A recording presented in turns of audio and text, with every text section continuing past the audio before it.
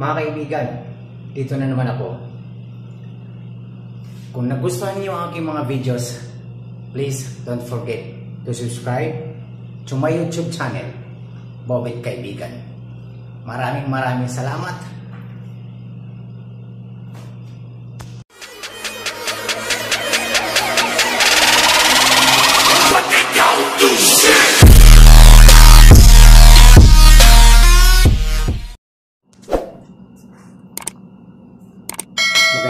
Umaga sa inyong lahat, mga kaibigan. Ah, ngayon ay ang oras dito ngayon sa Saudi ay 5.20 ng umaga, araw ng Monday.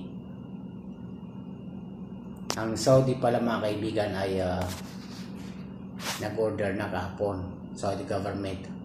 Nag-order na kahapon Ma- March 15 na 12.47 ng hapon. Ah, tungkol sa virus mga kaibigan.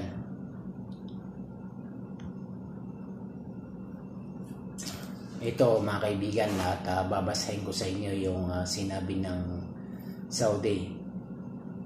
Saudi Arabia ordered the closure on Sunday of malls, restaurant, coffee shop and public parks and gardens while exempting supermarkets, pharmacies, and uh, food delivery. Yan mga kaibigan yung uh, mga sarado. Pero hindi ko alam mga kaibigan kung uh, apektado ba kami. Kung hanggang kailan ba ito mga kaibigan. For two weeks. Uh, nagsuffer na ang buong mundo mga kaibigan gawa ng virus hindi natin na alam kung hanggang kailan ba matatapos tong problema ng buong mundong tong virus na ito. Pero dito mga kaibigan, ang uh, infected dito sa Saudi mga kaibigan, ang, ang total lahat ng infected ay 103. Yan yung total ng infected sa COVID-19 dito sa Saudi mga kaibigan. Kaya napakahirap ang nararanasan natin ngayon gawa ng virus. Pero uh, tayo uh, dapat um, manalangin para makaiwas kasi walang makakalutas dito. Kundi uh, ang Diyos lang ang makatanging makapagbigay ng daan para maiwasan ang lahat ng sakit o lahat ng uh, sakuna, mga kaibigan. Napakahirap. Minsan nakakatakot mahawa ka sa iba o hindi mo alam kung uh, safe ka ba o safe ba yung kasama mo, yung kamag-anak mo, o lahat mga kaibigan. Buong mundo na nagsuffer dito sa coronavirus na ito. At marami ring lumalabas mga kaibigan na ang uh, gamot, mabisang gamot mga kaibigan ay uh, prutas, kagaya ng saging, lemon. Napakaraming lumalabas na mga eksperto mga sa medisina na yung gamot ay mga prutas. Hindi ko alam kung mga kaibigan kung ano bang tama. Dahil sa virus na ito ay uh, na, na nagdalamhati ang buong mundo. Hindi ko alam kung sino may gawa nito mga kaibigan, itong virus na ito. Dito ay uh, originally from China. Napapanood niyo naman mga kaibigan yung uh, ginagawa ng mga polis sa China o mga doktor paano nila i-rescue yung uh, mga patient ng uh, infected sa COVID-19 na ito mga kaibigan. Napakahirap isipin na dumapo sa atin. Kasi sa isang iglap lang mga kaibigan, nahawa ka na.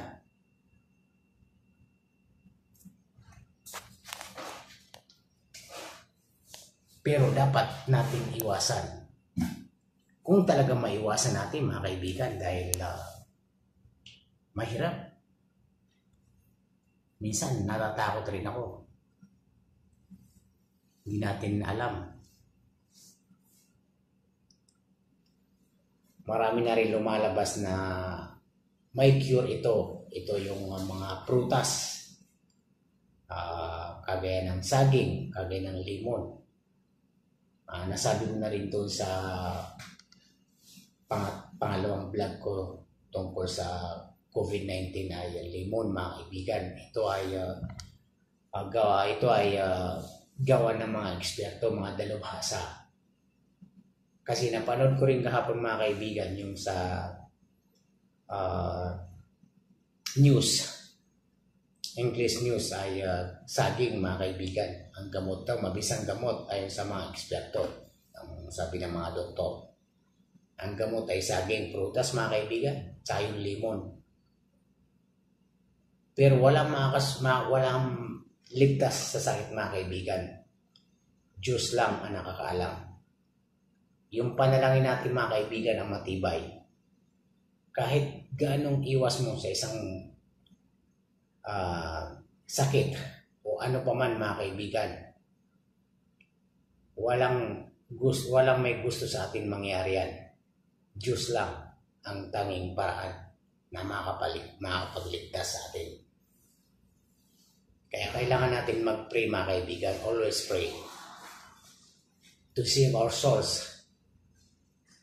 Ganun mga kaibigan ang dapat natin gawin pero kailangan din natin miwas mga kaibigan. Dahil mahirap nga ang uh, nararanasan ng buong mundo. Nagdadalang hati na. Gagawa ng COVID-19 na ito mga kaibigan. Ito mga kaibigan ay uh, binigyan ko lang kayo ng update. Lalong-lalo na dito yung mga taga-Saudi. Starting uh, from uh, yesterday, March 15, 2020 at uh, 12.47 p.m. Nag-order ng Saudi government ng closure ng uh, mga restaurant, coffee shop, supermarkets. Pero may exemption mga kaibigan, yung uh, um, tawag ito, mga pharmacy at saka mga food delivery. Yan po ay din. Dahil paano naman mga kaibigan, bibili ang expat at saka mga lokal.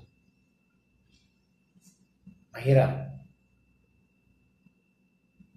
Hindi natin alam kung hanggang kailan ito magtatapos ang COVID-19 na ito. Napakahirap mga kaibigan. Isipin na tayo ay uh, dapuan ng sakit na ito. Huwag naman sana. Uh, dinadalangin ko na maging ligtas tayo sa lahat ng kapahamakan all over the world. Kasi tayo ay isang uh, tao lamang makasalanan at uh, ito ngayon ang nangyayari sa atin sa mundong ibabaw ay uh, makasalanan at mga tao rin ay makasalanan. Kaya maraming sakuna dumarating sa atin sa mundo. Kaya kailangan natin mag-pray mga kaibigan. At uh, lahat tayo ay uh, sabay-sabay mag-pray na iligtas tayo sa lahat ng kapahamakan mga kaibigan dahil uh, siya lang ang tanging uh, makapagligtas sa atin. Kahit sino man sa atin, uh, kahit sino man sa atin ay hindi natin alam. Tanging Diyos lang ang makapag, makapagligtas mga kaibigan. Kaya dinadalangin ko na maging uh, ligtas tayo sa lahat ng pahamakan. At binabati ko kayo muli na magandang uh, umaga sa inyong lahat. At inuulit ko mga kaibigan, started uh, from yesterday, March 15, 2020 at uh, 12.44, 47 p.m. ay uh, nag-order na po ang Saudi government ng closure kagaya ng restaurant, supermarkets, parks and gardens. Pero may exemption mga kaibigan ng mga pharmacies, tindahan, at saka mga food delivery po.